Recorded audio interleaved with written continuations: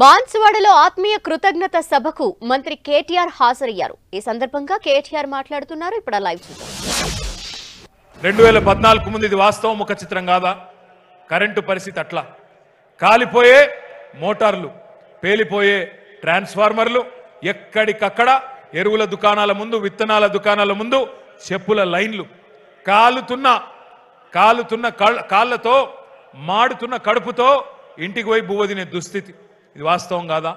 ఎరువులు దొరకాయి విత్తనాలు దొరకాయి రైతు బంధు లేదు రైతు బీమా లేదు కరెంటు లేదు.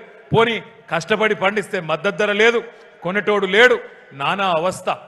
ఇట్లాంటి పరిస్థితుల్లో మనకు తెలంగాణ వచ్చింది. ఇవాళ తెలంగాణ వచ్చిన తర్వాత ఒకవైపు వ్యవసాయం బాగుపడ్డది. లక్ష్మీ పుత్రుడు అని పేరు పెట్టుకున్నారు గౌరవ ముఖ్యమంత్రి కేసీఆర్ గారు మన పోచారం గారికి. మొదటి టర్మ్లో వారే వ్యవసాయ శాఖ మంత్రి. గర్వంగా చెప్పుకోవచ్చు పోచారం శ్రీనివాసరెడ్డి గారి మునిమన్మన్లు వాళ్ళ మునిమన్మలు కూడా చెప్పుకోవచ్చు. మా తాత వ్యవసాయ మంత్రి ఉన్నప్పుడు తెలంగాణ రాష్ట్రంలో రైతు బంధు అనే ఒక విప్లవాత్మకమైన పథకం తెచ్చిండు కేసీఆర్ గారి నాయకత్వంలో అని చెప్పి పోచారం గారి మునిమన్మని మునిమన్మడు కూడా చెప్పుకోవచ్చు. ఎందుకంటే వ్యవసాయ మంత్రిగా ఆయన ఉన్నప్పుడే రైతు బంధు అనే పథకం ప్రారంభమైంది. డెబ్బై ఐదు డెబ్బై ఆరేళ్ళలో ఏ ముఖ్యమంత్రికి ఆలోచన రాలే ఏ ప్రధానమంత్రి కూడా ఆలోచన చేయలే. ఇవాళ సారు చెప్పినట్టు ఇప్పుడే. వానాకాలం నాట్లేసే టైం వచ్చిందంటే యాసంగి పంటకు నాటేసే టైం వచ్చిందంటే టింగు టింగు టింగు మన ఫోన్లు మోగుతున్నాయా? డెబ్బై లక్షల మంది రైతుల ఖాతాల్లో డెబ్బై మూడు వేల కోట్లు పడ్డ మాట వాస్తవం అయితే గట్టిగా చప్పట్లతో ముఖ్యమంత్రి కేసీఆర్ గారికి మనందరం ధన్యవాదాలు చెప్దాం. అదేవిధంగా ఇవాళ ఆసరా పెన్షన్లు ఎన్ని లక్షల మందికి నలభై ఆరు లక్షల మందికి ఒక్కొక్కరికి రెండు వేల రూపాయల చొప్పున బ్రహ్మాండంగా పెన్షన్లు వస్తూ ఉన్నాయి. మా దివ్యాంగులైన సోదరులు కాళ్ళు చేతులు చక్కగా లేని వాళ్ళు భారతదేశంలో ఏ ముఖ్యమంత్రి ఇవ్వడం లేదు. నాలుగు వేల పదహారు రూపాయలు ఇవాళ ఇస్తున్న ఒకే ఒక్క ప్రభుత్వం భారతదేశంలో తెలంగాణ ప్రభుత్వం మాత్రమే. చెప్తూ పోతే ఎన్నో ఉన్నాయి. ఆడపిల్లల పెళ్ళికి కళ్యాణ లక్ష్మి. ఆడ కూతురు ప్రసూతైతే కేసీఆర్ కిట్టు. గర్భంలో ఉండగానే కేసీఆర్ న్యూట్రిషన్ కిట్టు రేపో మాపో బ్రేక్ఫాస్ట్ కార్యక్రమం కూడా ప్రారంభమవుతున్నది ప్రభుత్వ పాఠశాలల్లో. ఆరో తారీఖు నుంచి బ్రహ్మాండమైన నాణ్యమైన ఉదయం పూట పెట్టే టిఫిన్ కూడా ప్రారంభమవుతా ఉన్నది అని చెప్పి ఈ సందర్భంగా విజ్ఞప్తి చేస్తూ ఉన్నాం. సన్న బియ్యంతో భోజనం అన్ని రకాలుగా పిల్లలను చూసుకుంటా ఉన్నాం. వెయ్యిన్నొక్క గురుకుల పాఠశాలలు ఎక్కడ ఉన్నాయా ఈ దేశంలో? కాంగ్రెస్ పరిపాలించే రాష్ట్రంలో కానీ బీజేపీ పరిపాలించే రాష్ట్రంలో కానీ వెయ్యిన్నొక్క గురుకుల పాఠశాలలు ఉన్నాయా?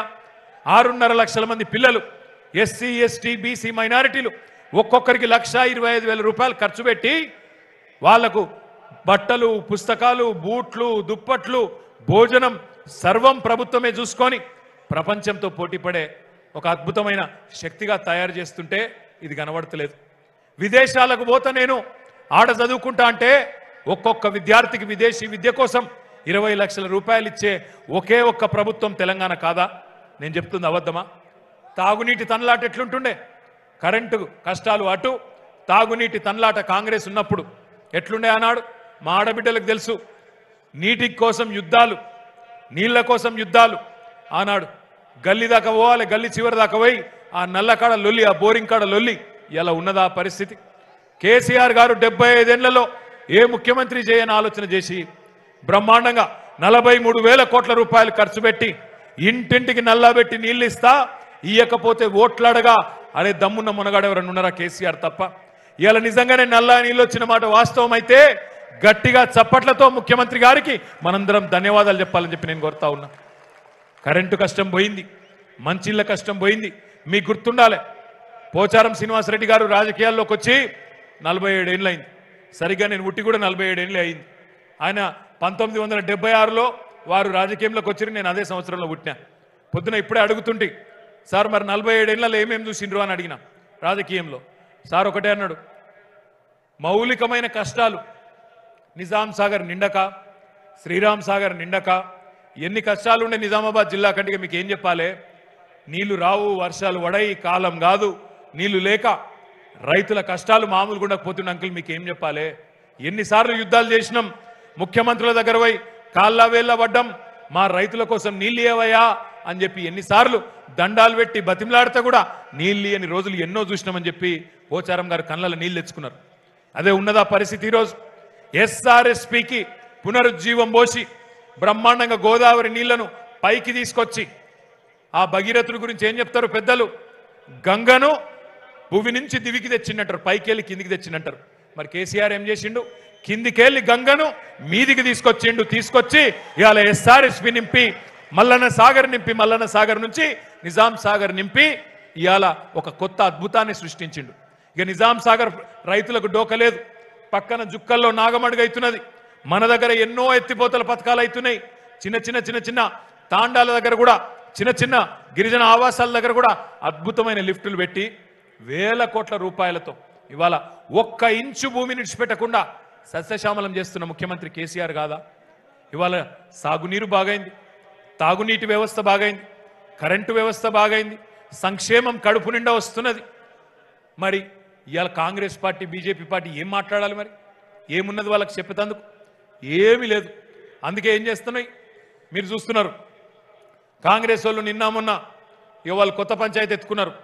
ఎట్లున్నది కాంగ్రెస్ వాళ్ళ కథ అంటే కొత్త కొత్త కొత్త మాటలు కొత్త కొత్త చిన్న చిన్న ముచ్చట్లు చెప్తాను ఇగో కేసీఆర్ మీకు రెండు వేలు ఇస్తాడు కదా మీరు మా కోటేయండి మేము నాలుగు వేలు ఇస్తాం కేసీఆర్ ఇరవై నాలుగు గంటల కరెంట్ ఇస్తుండు కదా మేము నలభై ఎనిమిది గంటల కరెంట్ ఇస్తాం మీరు మా కోటెత్తే ఒక పొద్దు ఒక రోజులో ఇరవై నాలుగు గంటలు ఉంటుందా నలభై ఎనిమిది గంటలు ఉంటుందే? ఏమైనా బుద్ధునోడు చెప్తాడా ఆ మాట? నలభై ఎనిమిది గంటల కరెంట్ కూడా ఇస్తారట వాళ్ళు ఓటెత్తే అంటే ఇంత నియత్ లేని మాటలు. అయినా ఒక్క మాట మీరు ఆలోచన చేయాలి. అరవై ఏళ్ళు అధికారంలో ఉన్నప్పుడు అరవై ఏళ్ళు అధికారం ఇచ్చినప్పుడు కాంగ్రెస్ పార్టీ చేతిలో ఈ దేశాన్ని రాష్ట్రాన్ని పెట్టినప్పుడు కరెంట్ ఇయ్యే చేత కాలేదు మంచినీళ్ళే చేత కాలేదు సాగునీరు ఇయ్యే చేత కాలేదు. రైతులను సావగొట్టుడు మాత్రం బ్రహ్మాండంగా చేసిండ్రు ఇలా మళ్ళా వాళ్ళే వచ్చి మేము అది ఇస్తాం ఇది ఇస్తామంటే నమ్మి మళ్ళొక్కసారి పిచ్చోళ్ళం అయిదామా? వాళ్ళ చేతుల రాష్ట్రాన్ని పెట్టి మళ్ళా మూడు గంటల కరెంటు తెచ్చుకుందామా? ఆలోచించండి. ఆ పార్టీ అధ్యక్షుడు రేవంత్ రెడ్డి చెప్తున్నాడు తెలంగాణలో ఉన్నదంతా బీదా బిక్కి రైతులు చిన్న సన్నకారు రైతులు ఎవ్వల దగ్గర కూడా రెండు ఎకరాలు మూడు ఎకరాల కంటే ఎక్కువ లేదు. వీళ్ళకెందుకు ఇరవై నాలుగు గంటల కరెంటు? ఇది బేకారు. మూడు గంటలు చాలు అంటుండు. మరి అసంటి పార్టీ కోటేద్దామా? ఇరవై నాలుగు గంటల కరెంటు వద్దు.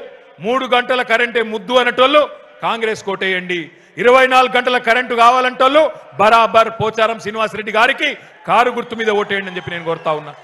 ఇవాళ పెద్ద కన్ఫ్యూజన్ ఏం లేదు. పెద్ద కన్ఫ్యూజన్ ఏం లేదు. అదేదో సినిమా ఉంటుంది ఒకటి రంగస్థలం అని. ఆ సినిమాలో ఒక పాట ఉన్నది. ఇట్లనే ఒక ఊళ్ళే పంచాయతీలా ఎలక్షన్ అవుతుంది ఎలక్షన్ అయితే ఆ ఊళ్ళే ఒక పాట పాడుతారు ఆ సినిమాలో. నాగన్న ఆ గట్టు మీద ఉంటావా? ఈ గట్టు మీద ఉంటావా? తెలుసుకో నాగన్న అంటాడు. ఇలా మా బాన్స్వాడ నాగన్నలు బాన్స్వాడ మల్లన్నలు బాన్స్వాడ రాజన్నలు బాన్స్వాడ సీనన్నలు బాన్స్వాడ గంగన్నలు తెలుసుకోవాలి. ఏం తెలుసుకోవాలి మీరు? ఏ గట్టుకుంటారో ఆలోచించుకోండి. ఇటు దిక్కేమో పోచారం శ్రీనివాసరెడ్డి గారి రూపంలో రైతు బంధు ఉన్నాడు. ఇరవై నాలుగు గంటల కరెంట్ ఉన్నది. ఇటువైపు ఏమో డెబ్బై మూడు వేల కోట్ల రూపాయలు వేసిన ప్రభుత్వం ఇటువైపు ఉన్నది. రైతు బంధు ఇట్టున్నాడు రైతుల ఆత్మ బంధు ఇట్టున్నాడు మరి అటేవాడున్నాడు రేవంత్ రెడ్డి రూపంలో మూడు గంటల కరెంట్ ఇస్తాననే రాబంధు అవతల దిక్కున్నాడు. ఎవరు కావాలో ఆలోచించండి.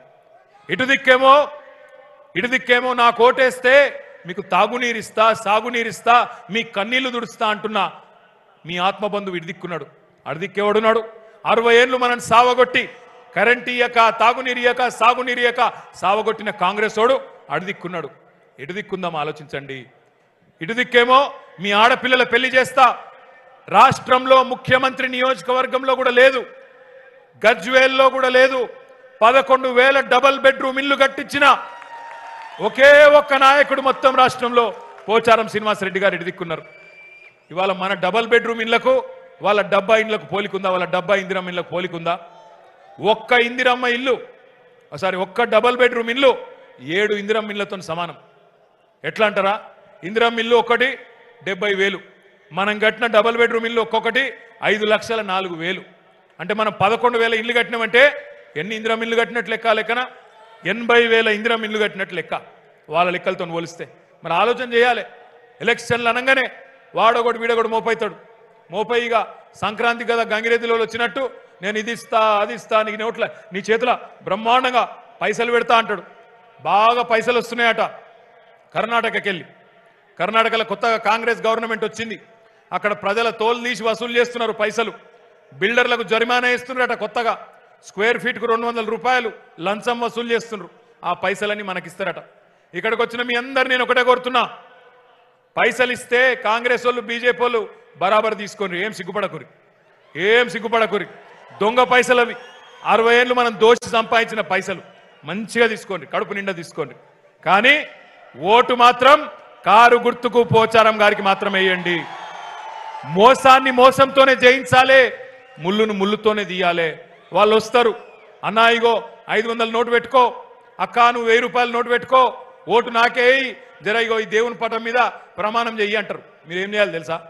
దేవుని పడ మీద చేయి పెట్టాలి మనసులో తుప్పాలు తుప్పాలు తుప్పాలు తుప్పాలు అనుకోవాలి. సరే పోబిడ్డ నీకే ఓడెత్తాను పంపించాలి. మోసాన్ని మోసంతోనే జయించాలి ముళ్ళును ముళ్ళుతోనే తీయాలి. బాగా అక్కడ ఇక్కడ దోచి సంపాదించి బీజేపీడు అదాని దగ్గరికి వెళ్ళి తెచ్చి కాంగ్రెస్ వాడు కర్ణాటకకి వెళ్ళి తెచ్చి ఇంత మంచి పని చేసిన నాయకుడిని ఓడించే ప్రయత్నం చేస్తే చూస్తూ ఊకుందామా ఇంత మంచి ప్రభుత్వాన్ని పోగొట్టుకుందామా? ఎట్టి పరిస్థితుల్లో ఒక్క బాన్సువాడలు కాదు. పక్కన జుక్కల్లో గెలిపియాలి యువతలు ఎల్లారెడ్డిలో గెలిపియాలి. ఎక్కడ మన చుట్టాలున్నా ఎక్కడ మన దోస్తులున్నా ఎక్కడ మన క్లాస్మేట్స్ ఉన్నా ఫికర్తో ఫోన్ చేసి చెప్పాలి.